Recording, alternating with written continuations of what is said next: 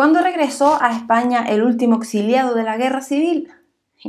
Pues concretamente un 10 de septiembre del año 1981 con 50 minutos de retraso, por cierto, y fue a las 8 y 35 de aquella mañana de, a través del el Jumbo López de Vega de, Iberia, procedente de Nueva York, pues aterrizó en Madrid con un contenido pues súper emocionante, ¿no? Y es que el Guernica y los 63 bocetos previos que sirvieron a Pablo Picasso para la ejecución de la obra abandonaron su familia estadounidense de acogida para volver a su patria biológica, a España no era un cuadro, ¿vale? Era el símbolo de la recuperación de las libertades democráticas. Así que no era un cuadro normal. y es que el regreso del Guernica supuso muchos años de negociación, pero bueno, su traslado fue visto y no visto.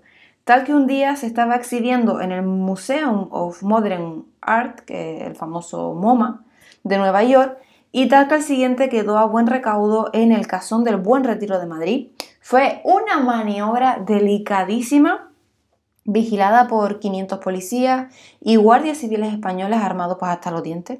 Eh, no, era para, no era para menos, porque se estaban moviendo unos 7 mil millones de pesetas, lo que sería hoy en día unos, más o menos creo yo, unos 42 millones 70 mil 800 y algo de euros, más o menos, por ahí.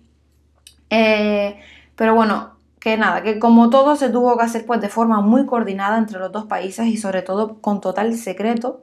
Hasta se le puso nombre de película de espías, así se llamó eh, eh, Operación Cuadro Grande, un poco cutre, pero bueno, se llamó así. Muchos aún se preguntan qué hacían en verdad el Guernica en Nueva York y, y por qué tardó en verdad unos 40 años en volver. Pues el por qué es porque Picasso lo pintó en París por encargo del gobierno de la República en el año 1937, en plena guerra civil. Y bueno, y dado el simbolismo que encerró en el lienzo, pues estaba claro que no podía entrar en la España fascista.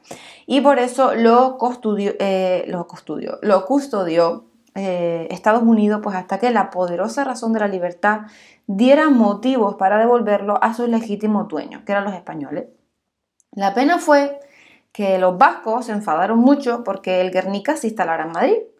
Pero bueno, que yo qué sé, que se le va a hacer. o sea, es que el Guernica lo pagó el gobierno español y por tanto fue devuelto al gobierno español. Si se ubicaba en Madrid, Bilbao o Buitrago de Lozoya, correspondía a decidirlo al gobierno español, ¿no? Pero bueno, los árboles al fin y al cabo nos dejaron ver el bosque y, lo, y el bosque era de que, que España conquistó la democracia y con ella pues conquistó el Guernica. ¿Eh?